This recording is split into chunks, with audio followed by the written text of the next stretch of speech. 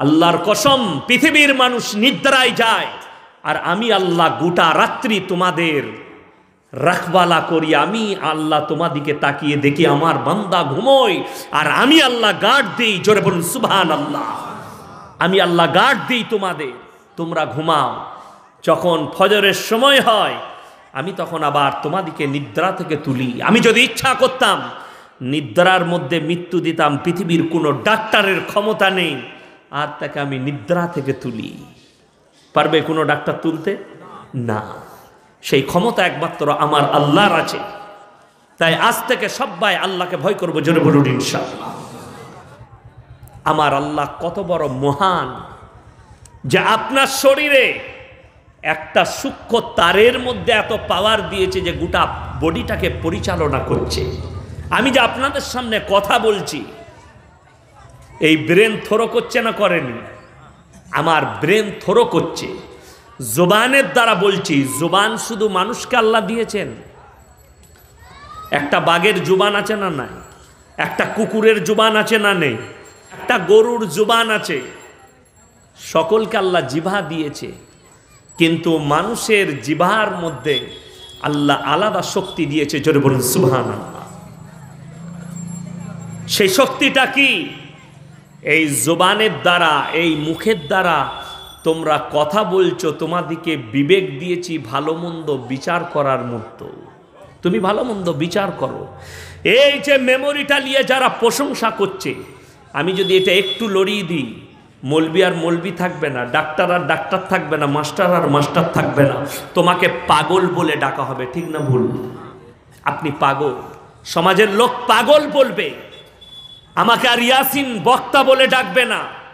বলবে লোকটা পাগল। আমি যদি মেমোরিটা একটু সরিয়ে দিই, তাহলে তোমরা অনুভব করো, সিজদায় পরে ভাবো যে যে আল্লাহ এত বড় ব্রেন দান করেছে। একটা লোহার টুকরো যদি গঙ্গায় ছুঁড়েন ডুববে না, ভেসে থাকবে? এ জোরে বলুন, ভাসবে না, ডুববে? ডুবে যাবে। একটা লোহার ছোট টুকরো ফেললে গঙ্গায় ডুবে যায়, পানিতে ডুবে যায়। কিন্তু আবার একটা মহৎ বড় একটা লোহার টেলার সে পানির ওপরে ভেসে আছে, ওটাও আমার কুদরত জোরে বলুন সুহান আল্লাহ আমি ব্রেন দিয়েছি। কীরকম ভাবে লোহাটাকে সাজালে সে পানির ওপরে ভেসে থাকতে পারে, এই ব্রেনটা কে দিয়েছেন জোরে বলুন, আল্লাহ। একটা লোহা যদি আপনি ওপরের দিকে ছুঁড়েন, আপনার মাথাটা ফাটবে, আপনার মাথায় পড়বে পড়বে না পড়বে না। কিন্তু আবার আমি আল্লাহ তোমাদেরকে এমন বেরেন বুদ্ধি, বিবেক দিয়েছি, যার দ্বারা পুরো লোহাটাকে তুমি আসমানের ওপরে যাত্রী নিয়ে উড়িয়ে দেওয়া হচ্ছে। হচ্ছে না হয়নি? একটা এরোপ্লেন, একটা হেলিকপ্টার ওপরে উড়ে যায়। কার সাহায্যে? তোমার ব্রেন আর বুবেক আর বুদ্ধির সাহায্যে। আল্লাহ বললেন, এগুলো আমি দান করেছি। কোরআন খুলুন, সুরায় হাদিদ।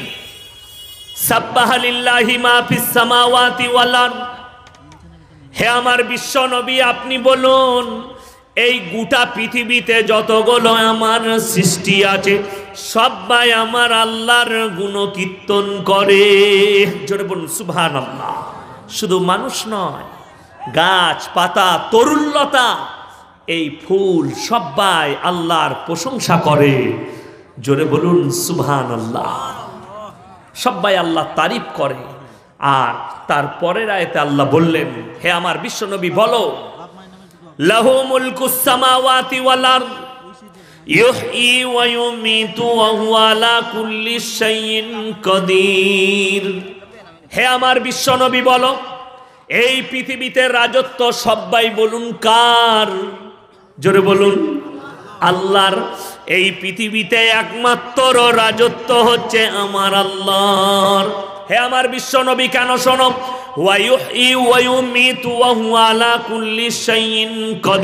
সকলে বলুন, হায়াতের মালিক কে? মতের মালিক। আমি আল্লাহ মৃত্যু দিই, আমি আল্লাহ হায়াত দান করি। কাকে কখন মৃত্যু দেব, কাকে কখন আমি হায়াত দেব?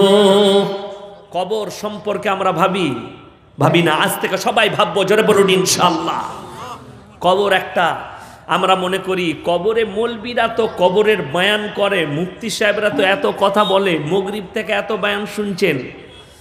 আল্লাহর কসম, দুনিয়ার আমার জন্মানোর পর থেকে সব থেকে ডেঞ্জার সিচুয়েশন যেটা শুরু হবে সেটা হচ্ছে কবর। জিয়াতি গরকা, আমার আল্লাহ কসম খেলেন কোরআনে। জিয়াতি গরকা, তোমার আত্মীয় স্বজন কবরে দেওয়ার পূর্বে শুনে লাও।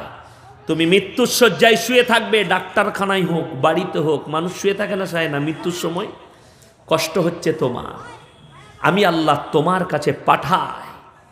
কোরআনে আল্লাহ শপথ করলেন, আমি কসম খাচ্ছি, ওই সমস্ত ফেরেস্তাদের যারা তোমার শরীরে ডুম মেরে তোমার আত্মাকে হরণ করে নিয়ে আসে। জোরে বলুন সুহান আল্লাহ তুমি তোমার বিবির সঙ্গে গল্প করছ বিছানায়। আর আমার মালাকুল মৌত ফেরেস্তা আমি কসম খাচ্ছি আমার ওই ফেরেস্তা আমি তোমার শরীরে ডুব দেয় তারা। ওদের কসম খাচ্ছি যারা তোমার শরীরে ডুব মেরে তোমার আত্মাকে ছিনিয়ে বার করে নিয়ে আসে। হে আমার বিশ্ব নবী আরও আমি কসম খাচ্ছি তার।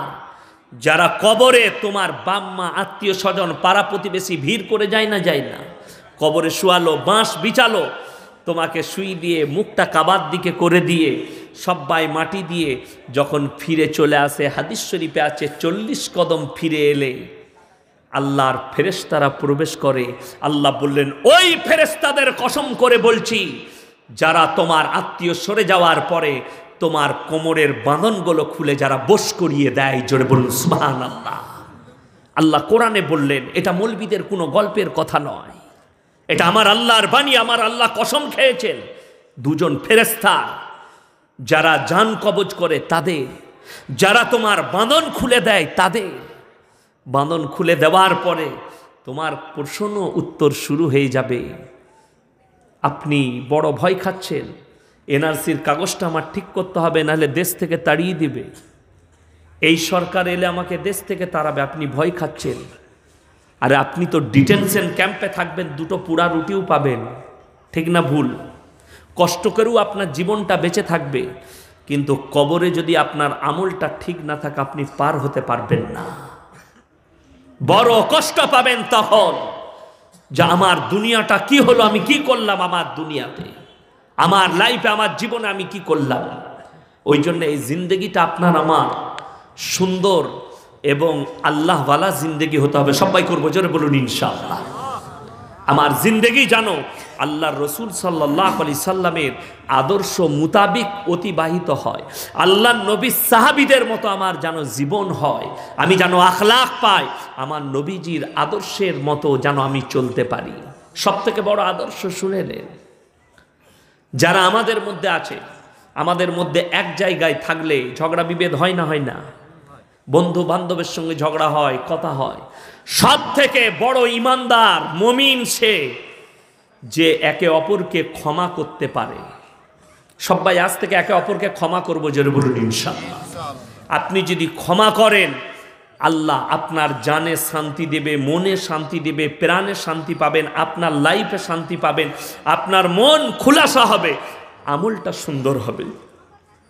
যদি আপনি কেউ কি ক্ষমা না করতে পারেন, আপনার দেখবেন কেউ কি, কেউ যদি আপনার দোষ করে আর আপনি যদি ক্ষমা না করেন, মনেতে কিন্তু থাকে না থাকে না। বড় কিন্তু থেকে যায়, সবসময় চিন্তা হয়, ও আমার এই করেছে, ও আমাকে একচর মেরেছে, চিন্তা থেকে যায়। আর আপনি যদি ভুলে যান আমি ক্ষমা করে দিলাম ভাইকে, আমার ভাই হয়, ক্ষমা করে দিয়েছি। জানবেন, মনে প্রাণে শান্তি পেলেন, সেই কথাটা আর ব্রেনে থাকবে না। ওই জন্য ক্ষমা করতে শিখব, সকলে বলুন ইনশাল্লাহ আমার আল্লাহ কীরকম মহান? সবাই আল্লাহকে মনে রাখব, জোরে বলুন ইনশাল্লাহ চব্বিশ ঘণ্টার মধ্যে আপনি যে কাজই করুন, আমার আল্লাহকে মনে রাখবেন। কেন? মানুষের আগে, পেঁচু, প্রথমে, শেষে সব সময় কে আছেন? সকলে বলুন, কে? আল্লাহ।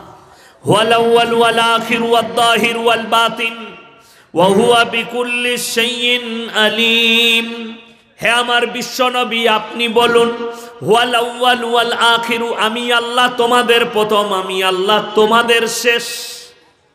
মানুষ মনে করে, অনেকজন চায়ের দোকানে বুক চাবড়িয়ে বলে, এই, আমি পাঁচটা ব্যাটার বাপ। বলে না বলে না। হুম? বলে। মায়ের পেটে বাচ্চা, স্ত্রীর পেটে বাচ্চা থাকলে আয় দেখবি আমার বেটা হবে। অনেকজন গর্ব করে বলে, তোমার কোনো কৃতিত্ব নাই। তোমার পাঁচটা বেটা, তোমার কোনো কৃতিত্ব নেই। সমস্ত কৃতিত্ব কার? সকলে বলুন, আল্লাহ। তুমি খালি তোমার স্ত্রী জরায়ুতে এক ফোঁটা পানি নিক্ষেপ করেছ, বাকি কাজ সকলে বলুন কার? আল্লাহ। তাহলে তোমার কোনো কৃতিত্ব নাই। তোমার এতটুকু কৃতিত্ব তুমি স্ত্রী জড়াইতে এক ফোঁটা পান নিক্ষেপ করেছ। আমার আল্লাহ যদি চাইতো তোমারও প্রয়োজন পড়তো না, বিনা বাপি আল্লাহ ছেলে দান করতে পারতেন। আল্লাহ সে দৃষ্টান্তও দিয়েছে পৃথিবীর মানুষকে। আমি বিনা বাপে আমার ঈশা নবীকে পাঠিয়েছি মরিয়মের গর্ভে। জোরে বলুন সুবাহান আল্লাহ তাহলে তুমি কি করে তোমার গর্ব করো? এখন জানেন আমাদের সমাজের মানুষ। পেটে বাচ্চা থাকলে মায়ের পেটে, আমি এই পয়েন্টটা যখন এলো, একটা পয়েন্ট আমি সেরে দিই। মায়ের পেটে বাচ্চা এসছে। আপনি কি করবেন তার জন্যে?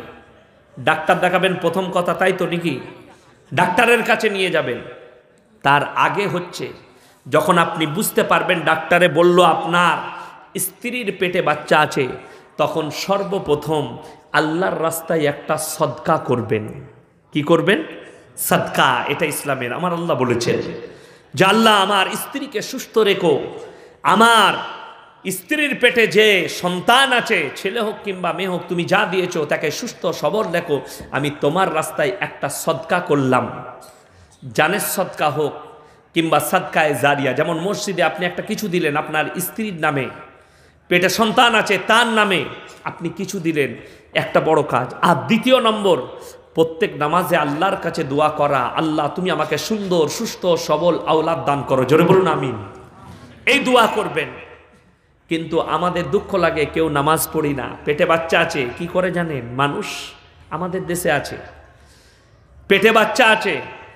মানে আমাদের সমাজে জানেন, মেয়েদের হাদিস খুব চলে। ঠিক বলছি না ভুল বলছি? ছেলেরা কিন্তু মেয়েদের হাদিস খুব মানে। আলেমরা লয়, সাধারণ লোক। কি বুঝলেন? রবিবার বাঁশ কাটতে নাই। আমাদের দেশে অনেক মেয়েরা বলে। তাই বললাম, যদি শনিবার সন্ধ্যায় তোমার মা মারা যায়, তা কী করবে? রবিবার রেখে দিবে? আমাদের দেশে তো বাঁশ দেয়। তাহলে রবিবার রেখে দিতে হবে লাশটা, সোমবার দাপন করতে হবে, যেহেতু বাঁশ দেয়, বড় দুঃখ লাগে, বেদনা লাগে। এগুলো হচ্ছে আপনার অবাস্তব কথা, হাদিস বিরোধী কথা, এগুলো বেদাতি কথা, এগুলো বেদাত গুণা হবে। মায়ের পেটে বাচ্চা আছে, বললে লোক মরে গেলে বাপকে যেতে নেই। আপনাদের দেশে আছে এরকম? হ্যাঁ? নাউজ বিল্লা ইস্তেক ফার পড়ুন ইস্তেক ফার পড়বেন। মায়ের পেটে বাচ্চা আছে স্বামী মরা ঘর যেতে পাবে না, স্বামী তারপরে মুরগি জবাই করতে পাবে না, গরু জবাই করতে পাবে না। সকলে বলুন না, নাউজ বিল্লা এ জোরে বলুন, নাউজ বিল্লা এটা যদি বিশ্বাস করেন, আপনার ইমানের খাতরা হবে। ইসলাম বলছে, শরীয়ত বলছে। আপনি মুরগি জব করুন। আল্লাহর ওয়াস্তে বিসমিল্লা কার নামে করছেন? আল্লাহর ওয়াস্তে করছেন। কোনো অসুবিধা নেই। আপনি, আপনার বাম মরে গেলে আপনি কি করবেন? বুঝতে পেরেছেন না পারেননি? তোমার বাম মরে গেলে তুমি কোথায় পালাবে? তোমার বাপের জানাজার মাটি দেবে না? বড় দুঃখ লাগে। তোমার সেই স্ত্রী যদি মারা যায়, তুমি কি করবে? তুমি বলছো আমার স্ত্রীর পেটে বাচ্চা আছে, তাকে তো তুমি ছুঁতে পাবে না তাহলে। বড় দুঃখ লাগে এগুলো না জেনে, এগুলো হচ্ছে মেয়েদের হাদিস। এই হাদিসগুলো যে মায়েরা বলে, তাদেরকে আলাদাভাবে কাটিংয়ের মাত দিবে ফেরেস্তারা যদি কোরআনকে জিজ্ঞেস করেন, নবীজির হাদিস জিজ্ঞেস করেন, তোমরা শরীর ঢেকে লাও, নামাজ পড়ার সময় নারীরা, পুরুষরা। তোমরা সাতার ঢাকো, শরীর ঢাকো। শুনেলেন, যদি আপনি মাঠে থাকেন, পাক পবিত্র থাকেন, যদি লুঙ্গির ওপর একটা গেঞ্জি থাকে, ঘাড়ে গামছা থাকে, আজান হয়েছে, নামাজটা কাজা হয়ে যাবে, এলের মাথায় গামছা বিছিয়ে উজুটা করে নামাজ পড়েলেন ওইখানি খালি মাথা তো নামাজ হবে হবে না হবে না। সকে বলুন টুপি নাই, খালি মাথায় পড়লেন। নামাজ হবে। টুপিটা নবীজির সুন্নত। আদব, টুপি পরবেন, আদব নবীজির সুন্নত। অবশ্যই হবে। কোনো অসুবিধা নাই। আমার মায়েরা, দিনকে তোমরা কঠিন করো না। ইসলাম বলেছে, দিন তোমাদের জন্য আমি কঠিন করিনি। জোরে বলুন সুবহান আল্লাহ তার একটা আমি নমুনা শুনে দিই। ফামানি ফালা রহিম। আমি আল্লাহ তোমাদের জন্য দিনকে সহজ করেছি। বা কেউ মানে হচ্ছে তোমরা যদি কোনোদিন বিপদগ্রস্ত হয়ে পড়ো, শুনে নাও। এমন জায়গায় পৌঁছে গেছ, সেখানে কোনো খাবার নাই। একমাত্র সেখানে খাবার দেখলে কি আছে? শুয়োরের মাংস আছে। যতটুকু খেলে তোমার প্রাণ বাঁচবে, ততটুকু তুমি শুয়োরের মাংস খেতে পাবে। জোরে বলুন সুবাহান আল্লাহ তুমি অতটুকু শুয়োরের মাংস খাও, যতটুকু খেলে তোমার প্রাণ বেঁচে যাবে, আমার আল্লাহ বলেছেন। জোরে বলবেন না সুবাহান আল্লাহ আল্লাহ দিনকে সহজ করেছেন, তোমরা কঠিন করে লাও না। আমরা দিনকে কঠিন করে নি বহু সেরেক, বহু বেদাত আমাদের কাছে ঢুকে যায়। বহু বেদাত ঢুকে আছে। আমার দাদি শাশুড়ি মন্নপন্ন অবস্থায় ছিল। তো আমাকে খুব ভালোবাসতো, আমার জন্য প্রচুর দোয়া করেছে। আমি খিদমত করতাম। তারপরে যেটা খেতে চাইতো আমি খাওয়াতাম। খুব ভালোবাসত। তো খুব জ্ঞানী মানুষ ছিলেন। তো যখন মৃত্যুসজ্জায় পড়ে গেছে, আমাকে ফোন করল যে, দাদির অবস্থা খুবই খারাপ। আমি বললাম, ঠিক আছে, আমি কালকে যাচ্ছি। আমি গেলাম, দেখলাম উনি মৃত্যুসজ্জায় শুয়ে আছে। পাড়ার একটা মেয়ে দেখছি, ঘুমটা পড়ে, কি বুঝলেন, হাতে তোষ বিলিয়ে। কি যে বলছে আল্লাহ, আর উ ছাড়া কেউ জানে না। আমি বললাম, এগুলো কোথায় আছে? বলছে, আমার বাপ দাদর কালে আমার দাদির মুখ থেকে শুনেছি গো। আমি বললাম ফেরেস্তালা কেলানি দিবে কবরে। এই আয়েত আমি জীবনে কোরআনের মাল লয় এগুলো কি বললেন? একটাও কোরআনের কথা লয়। কি যে বলছে? ওয়া তুম পা কি উ আমি। আসলে এইগুলো কি চালাচ্ছিবে বলে, এগুলো বলতে হয় এমন কেনে? বলছে, মালিকুল মৌত শুনতে পাই। দিয়ে তাদের আশা না করে দেয়। আমি বললাম, ওরে নারীরা শুনে নাও। যখন মানুষ মৃত্যুর শয্যাই থাকবে, তোমার বাপ হোক, মা হোক, দাদি হোক, ফুপু হোক, যখন তারা মৃত্যুর শয্যাই থাকবে, আমার নবীজি বলেছেন, তার পাশে বলো, লা ইলাহা সকলে বলুন, লা ইলাহা ইল্লাল্লাহ, লা ইলাহা ইল্লাল্লাহ এই শব্দটা খানি বলবে। খালি তোমরা কলমা পড়ো, তার পাশে বসে। তাকে অর্ডার করো না, চাচা, কলমাটা পড়ে লাও। ভাবি, কলমাটা পড়ে লাও, বলা চলবে না। তার পাশে বসে খালি কলমাটা পড়ো, তার চারিদিকে বসে। কলমাটা পড়বে, লা ইলাহা ইল্লাল্লাহ মুহাম্মাদুর রাসূলুল্লাহ। শুনতে শুনতে যদি সে কষ্টের মাধ্যমে বলে দেয়, লা ইলাহা ইল্লাল্লাহ মুহাম্মাদুর রাসূলুল্লাহ। তার কালমাটা নসিব হবে। জোরে বলুন বাকি কিচ্ছু নাই। যদি জাকামদানি হয়, আপনার যদি সুরাই ইয়াসিন মুখস্থ থাকে, তাকে গোসল করিয়ে বুঝতে পাচ্ছেন আব্বা কষ্ট পাচ্ছেন।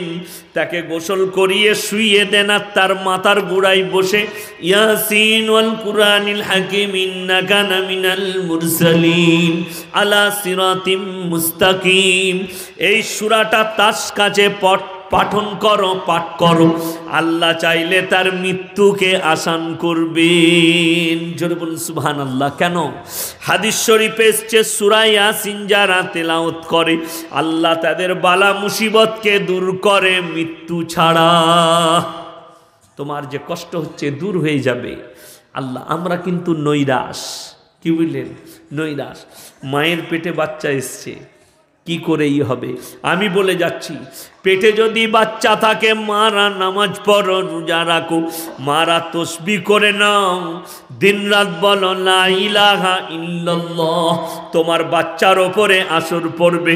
আসরের নামাজ পড়ো, মগরিব পড়ো, ঈশা পড়ো। আর আল্লাহর কাছে দোয়া করো, আল্লাহ আমার পেটে যে সন্তান আছে, তাকে তুমি নেক করো, নেক হায়াত দাও। আল্লাহ তাকে সুস্থ, সবল রেখো আল্লাহ ছাড়া পৃথিবীতে শোনার মতো কেউ নেই। কিন্তু দুঃখের বিষয়, পেটে বাচ্চা আছে, গ্রামে বুগি বুগি ড্যান্স হচ্ছে, ই একদম ফার্স্টি চেয়ার নিয়ে বসেছে। ছেলেটা তো হওয়ার পরেই নাচবে। বুঝতে পেরেছেন না পারেন না ছেলেটা তো হয়েই নাচবে। দেখেছেন না, এখন ছোট থেকে ছেলে এইটুকু। মোবাইলে গান জুড়ে দিয়ে বলছে, নাচবে নাচবার সে বুঝছে দিয়ে ফেসবুকে ছাড়ছে, আমার বেটা নাচছে। নাউজ বিল্লা বলো, ইস্তেকফার বলো। ইস্তেকফার বলো নাউজ বিল্লা বলো, আমার এই বুকের ওপরে বুকের ওপরে শুয়ে আমার ছোট বিটি গোটা আলিফ বা তাসা মুখস্থ করে নিয়েছে তিন বছর বয়সে। সব কলমাগুলো আমার বুকের ওপরে চেপে পড়েছে, বুকের ওপরে শুয়ে থাকতো আর মুখে মুখটা লাগিয়ে আমি বলতাম, আর সে মুখস্থ করত। আমি রাত্রে বাড়ি ঢুকলে যেমনি ঘুম ভাঙে ফজরের সময় আমার বুকের ওপরে। আর আমি যা বলি তুমি তোমার বাচ্চাকে গালে নিয়ে, তোতা পাখি যদি বাচ্চা তোতা পাখি হয়, কথা শিখে না শিখে না, তাকে যা বলেন শিখে।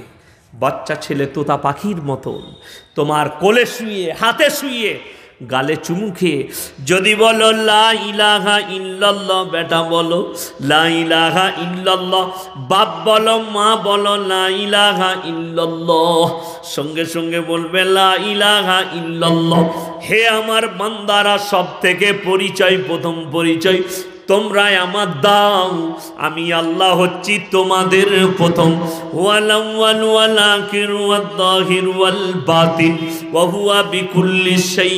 আলিম। আমি আল্লাহ তোমাদের প্রথম। আমি আল্লাহ তোমাদের শেষ। আমি আল্লাহ তোমাদের প্রকাশকারী। আমি আল্লাহ তোমাদের অপ্রকাশকারী। আমি আল্লাহ প্রকাশ করি। আমি আল্লাহ তোমাদের অপকাশকারী যারা মনে মনে করছেন, আল্লাহর কসম করে বলছি, আল্লাহ যদি আমাদের গুণাগুলো না লুকুত্ত পৃথিবীর একটা মানুষও মাথা তুলে চলার মতো ক্ষমতা নাই।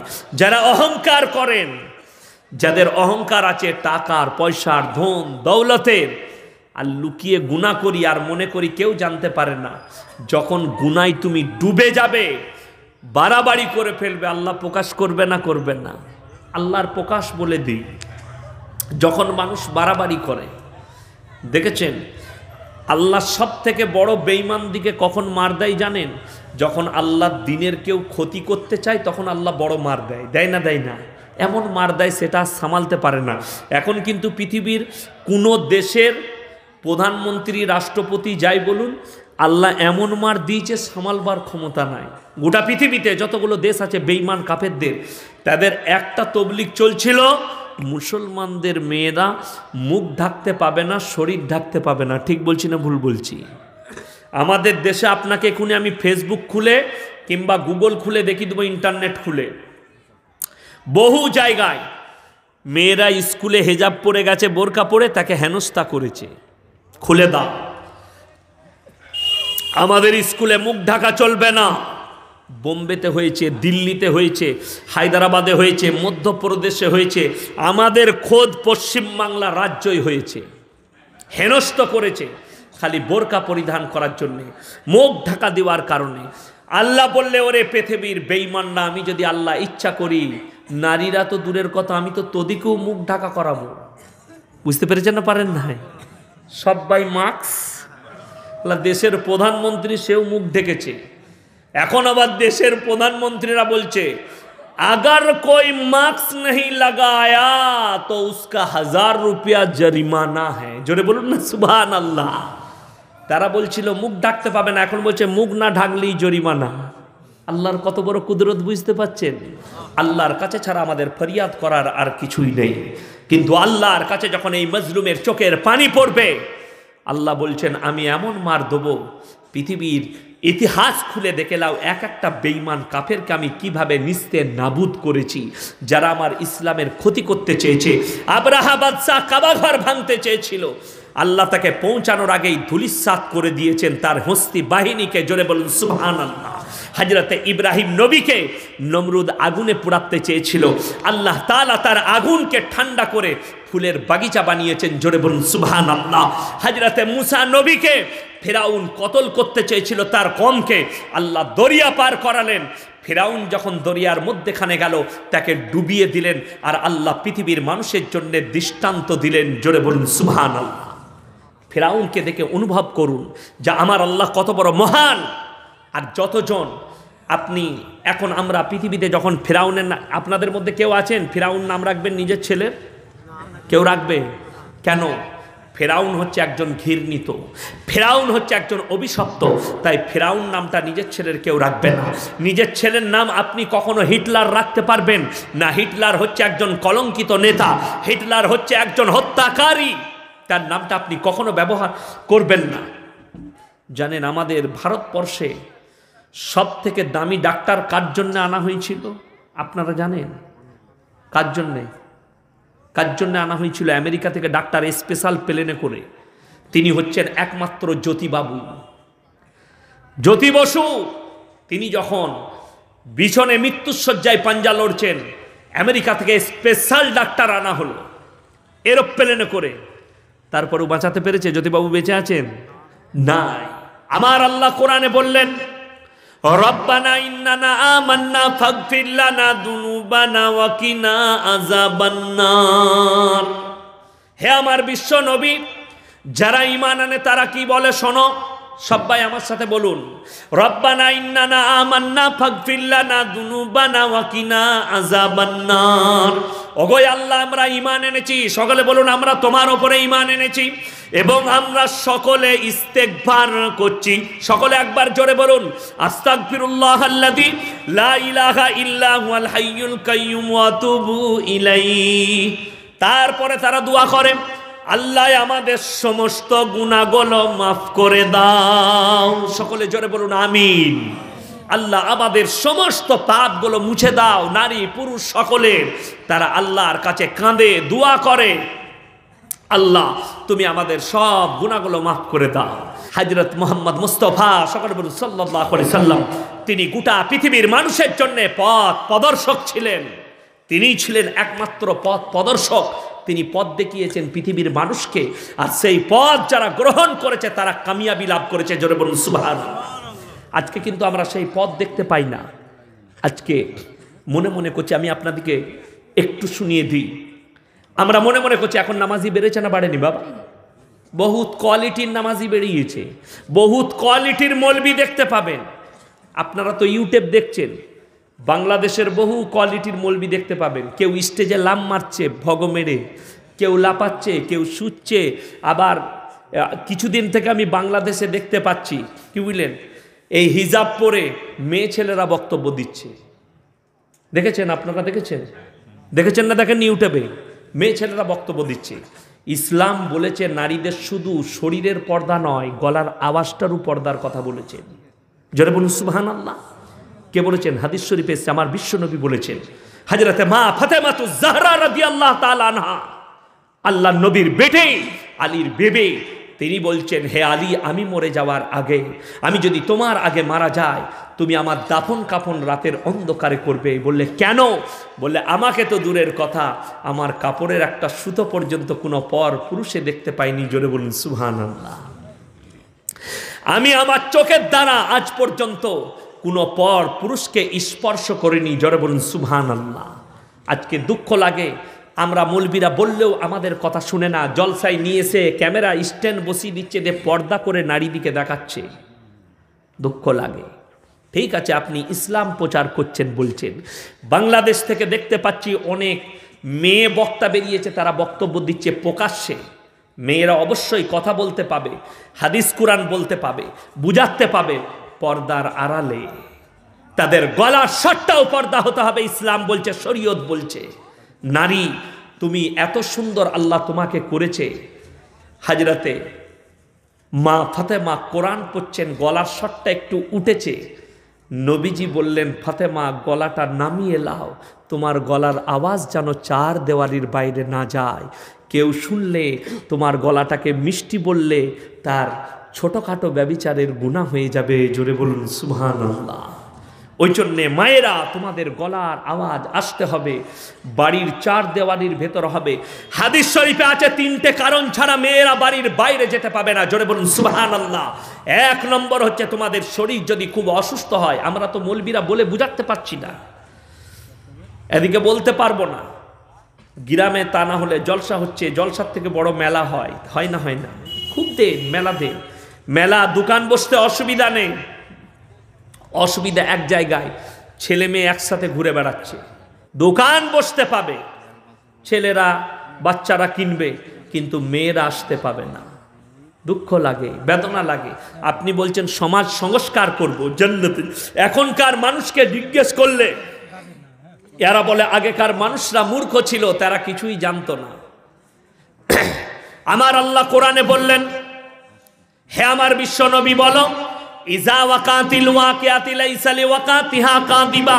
خافية رافية إذا نجت الأرض رجا وبست الجبال بسا فكانت هباء منبسا وكنتم أزواجا ثلاثة فأصحاب الميمنة ما أصحاب الميمنة وأصحاب المشأمة ما أصحاب المشأمة والسابقون السابقون أولئك المقربون হে আমার বিশ্বনবী যেদিনে কেমন সংগঠিত হবে তোমরা যেগুলো দেখতে পাচ্ছ, গাছপালা ঘর বাড়ি বিল্ডিং, বালাখানা, পাহাড় পর্বত, সব আমি চূর্ণ বিচূর্ণ করে দেব। আর সেদিনে কেয়ামতের দিনে শুনে নাও, ওয়াকুন্তুম আজওয়াজান সালাসা, মানুষকে আমি তিনটে দলে বিভক্ত করে দেব। আল্লাহর ডান দিক, আল্লাহর বাঁ দিক আর আল্লাহর সামনের দিক। আল্লাহর ডান দিকে তারা থাকবে, যাদের ডান হাতে আমন নামা হবে। আল্লাহর বাঁ দিক, যাদের বাঁ হাতে আমন নামা হবে। আর আল্লাহর সামনের দিকে, সাবিকুন আর সাবিকুন উলাইকাল মুকাররাবুন। তাদের মধ্যে শোনম এই যুগের কিছু থাকবে এবং পূর্ববতীদের মধ্যে বেশিরভাগ থাকবে। আমার আল্লাহ কোরআনে বললেন, পূর্ববতীদের মধ্যে বেশি থাকবে তোমাদের বাপদাদো যারা চলে গেছে, তাদের মধ্যে বেশি। এখনকার মানুষ একটু অল্প সংখ্যক থাকবে। এখন মানুষ নামাজ পড়ে, তারপরও চুরি করে, নামাজ পড়ে মিথ্যা কথা বলে, নামাজ পড়ে স্ত্রীকে কষ্ট দেয়, নামাজ পড়ে বাম্মায়ের সঙ্গে খারাপ ব্যবহার করে। ফার্স্ট কাতারে নামাজ পড়ছে, বিবির সঙ্গে সম্পর্ক ভালো নাই। আছে না নেই? আপনি নামাজ পড়ছেন, কেউ জানতে পারে না, আমি জানি না। আপনার মলবি জানে না, আপনার বাম্মা জানে না, আপনি ঘরের ভেতর আপনার স্ত্রীকে কষ্ট দেন। এক জায়গায় বায়ান করেছি আমি। তিন বছর আগে করলাম যে তোমরা আল্লাহর প্রিয় বান্দা, তারা রাত জেগে কেঁদে কেঁদে আল্লাহর ইবাদতে রাত যাপন করে। এই শুনে এক বেটা কি করেছে? মলি সাহেব যখন বলেছে, রাত জাগতে ই এশার নামাজ পড়ে খানা খেয়ে বগলে বালিশটা নিয়ে মসজিদ। বউ ঘরে একা পড়ে আছে। ও বলে সারা রাত নামাজ পড়ব। বিবি বলছে হ্যাঁ গো, সারা রাত কোন মলবি বলেছে? বলছে, বর্ধমানের মলবি বলেছে। আমি চিন্তা করলাম, আল্লাহ যত কেলানি আমার হবে। বুঝতে পেরেছেন না পারেননি? আমার আল্লাহ বললেন, হে আমার বিশ্বনবী সনম পৃথিবীর মানুষকে বলে দাও, প্রথমেই আমার নবীজি প্রশংসা করলেন আমার আল্লাহ। জোরে বলুন সুবহান আল্লাহ আমার আল্লাহ প্রশংসা করে বললেন, ইয়া ইউহাল মুজাম্মিল, হে আমার নবী, তুমি যখন কম্বল আবৃত্তি করো, কম্বল গাই দাও। পৃথিবীর কোনো বাচ্চা তার সিংহাসনে অত সুন্দর লাগে না আপনাকে মেম্বারে এত ভালো লাগে। জোরে বলুন সুবহান আল্লাহ হে আমার বিশ্বনবী, শোনো। কি নিয়েছো? আমার বাপ এত দুধ খাওয়াইছে আবার আমাকে দুধ খাওয়াচ্ছে, আমি বমি করে দিলে লোকগুলো ভেসে যাবে। নিয়ে যাও, দুধ খাব না। এরা মনে মনে করেছে, জুড়ে দিয়েছি এখন চলুক। দেখি, ওই জন্য দুধ এনেছে, আমি চালাকি বুঝি তো।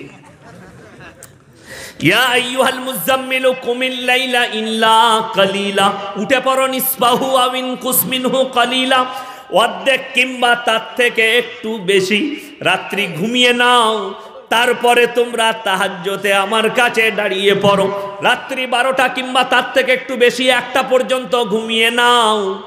একটা পর্যন্ত যদি বিবির কাছে সময় দেন, তারপরে কার কাছে? তিনটে পর্যন্ত? জোরে বলুন। আল্লাহর কাছে।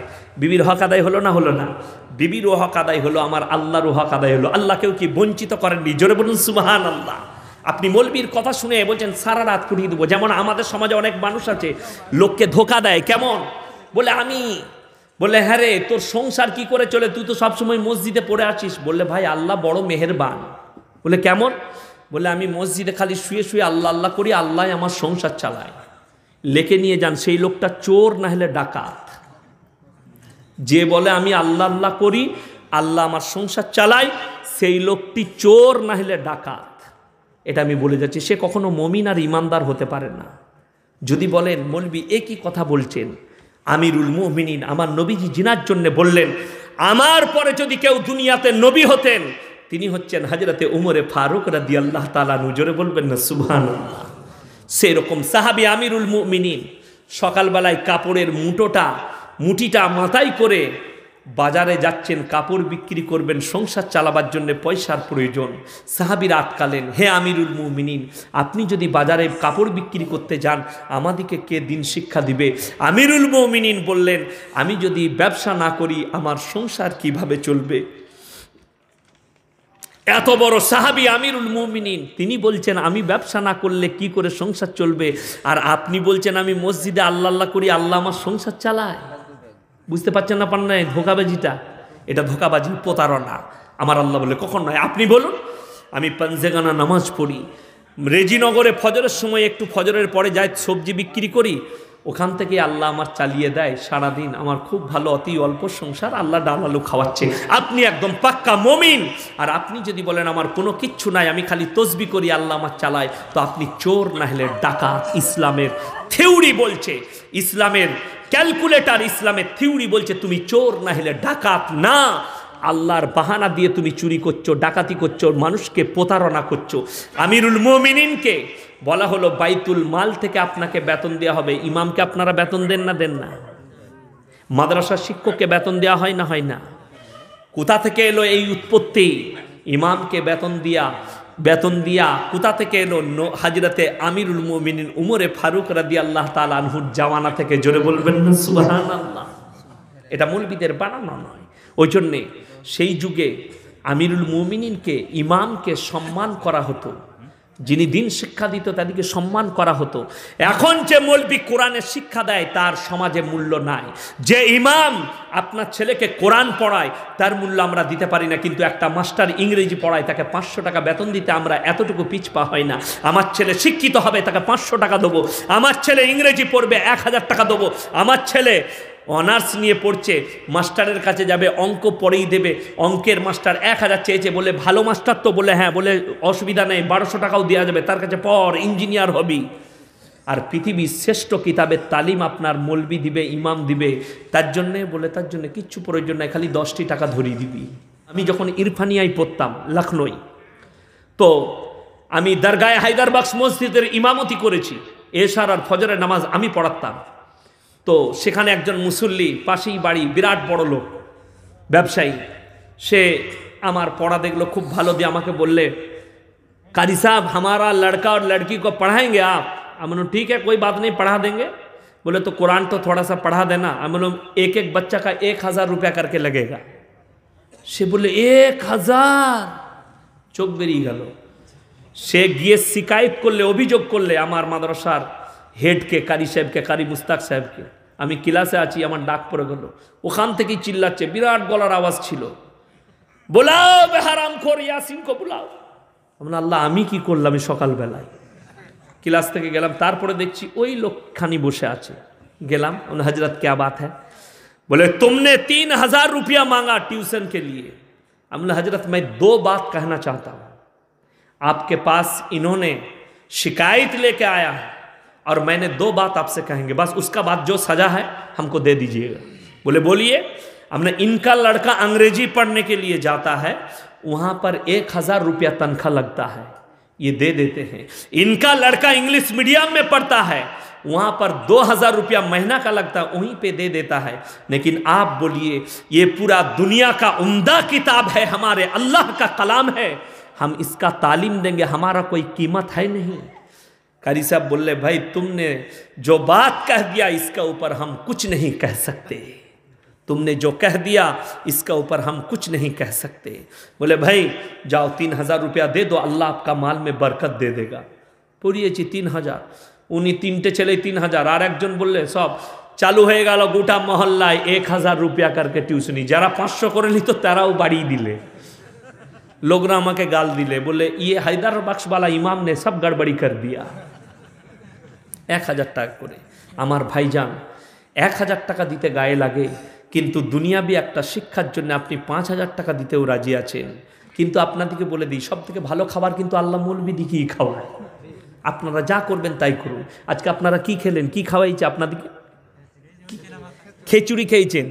আর আমি খেয়েছি দেশি মুরগি, আর বলব না আরও অনেক কিছু ছিল। বুঝতে পেরেছেন না, পারেন নাই? আমরা দেশি মুরগি খেয়েছি, আল্লাহর কুদরত। ট্রেনে আমি মালদা যাচ্ছি। তো একজন মাস্টার বর্ধমানে চেপেছে। কি বুঝলেন? আমি মাস্টারের আর আমার নাস্তাটা বল মাস্টার কত বেতন পায়? ছিয়াত্তর হাজার টাকা বেতন, হাই স্কুলের টিচার রোজ ট্রেনে যাতায়াত করে। কাঞ্চনে যাই, কাঞ্চনে ফিরে। তো আমি সামনাসামনি বসেছে, সালাম দিলে বলে আপনার ইউটিউবে জলসা শুনেছি, অনেক কথা হলো। তারপরে যখন বোলপুর পেরুলো, আমি বললাম, মাস্টার সাহেব, একটু নাস্তা করুন। বললে, না, আমি নাস্তা এনেছি। আমি বললাম, আপনারটাও বার করুন, একসাথে খেয়ে নিই। সে আর বার করছে না না করব না বার করুন এখনই খেলি একসাথে। কেউ বলেছে মোটেই বার করছে না। তারপরে আমারটা বার করলাম সে বাধ্য হয়ে ডিব্বাটা বার করলে। আমার আপনার গরম পরাঠা আমার বিবিকে দিল পরাঠা কিমা সাম্মি কাবাব। কি বুঝলেন? আমি বললাম খান। আর ও খুলছে না। বললাম, খুলুন আপনারটাও লি। তারপরে দেখছি দুটি মুড়ি আর দুই চিনি সুসা আমি বললাম আপনার ছিয়াত্তর আমার সাত হাজার বেতন। বলছে না ভাই, আপনার কথার দাম আছে মলবিরাই ভালো খায়। ইমামের যদি পালা হয়, সকালবেলায় বউ বললে গো আজকে মলি সাহেবের পালা আছে। কি করবে বলে, দাঁড়া, রেজিনগর থেকে দু কেজি গোসেন দিই এক কেজি মাংস। দশটার সময় মাংস, কষার গরম রুটি। আর বলে তুমি কি খাবে? বলে, আমাকে এক মুঠো মুড়ি দিবি, মাঠে গিয়ে খাব। বুঝতে পেরেছেন না পারেননি? জোরে বলবেন না সুমাহান আল্লাহ কি বুঝলেন আপনারা তিন হাজার বেতন দিতে পারেন। আল্লাহ বললেন, রুজির মালিক সকলে বলুন, কে? আল্লাহ। কোটি টাকা থাকলেও আপনারা খেতে পাবেন না, কিন্তু মৌলবীদের কিছুই নাই। সব থেকে ভালো খাবারটা আমাদের। আল্লাহ বললেন, আমি খাওয়াই। দিনের ওপরে বুখারি শরীফের রেওয়ায়েতে আছে, যারা আমার রাস্তায় থাকে, আমি তাদেরকে মৃত্যুকাল পর্যন্ত ইজ্জতের রুজি দান করি, জোরে বলুন সুবহান দেখবেন যারা জামাতে যায়, কি বলছেন? মাদ্রাসায় অনেকজনা মনে মনে করে, আমরা কি খাই? ডাল আলু খায়। একদিন যদি কোনো মেহমান যায় আপনারা আমাদের মাসে একদিন আসুন ডাল আর আলু খাবেন আপনারা খালি মনে মনে চিন্তা করুন ঘরের তরকারি এত মজা হয় না কেন বলবেন কি বলছেন আপনারা? ঠিক না ভুল। হ্যাঁ? আপনি মার কাজে যাবেন মার কাজে গিয়ে খাঞ্চাই বসে খান খালি সবজি ঘেটে দিয়েছে ভাতে ঢেলে দিয়েছে। আপনি চিন্তা করছেন এত মজা কেন বলিনি তরকারিটা ঘরে হয় না কেন? বাড়িতে হয়? হয় না। কিন্তু আল্লাহ বলেছেন যে মমিনরা যখন ইমানদাররা আমার কাছে শকর আদায় করে খেতে বসবে, তোমরা যদি শুধু পানিটাকে ফুটিয়ে ঢেলে দাও, আমি মধুর থেকে বেশি মিষ্টি করতে পারি। জোরে বলুন সুহান আল্লাহ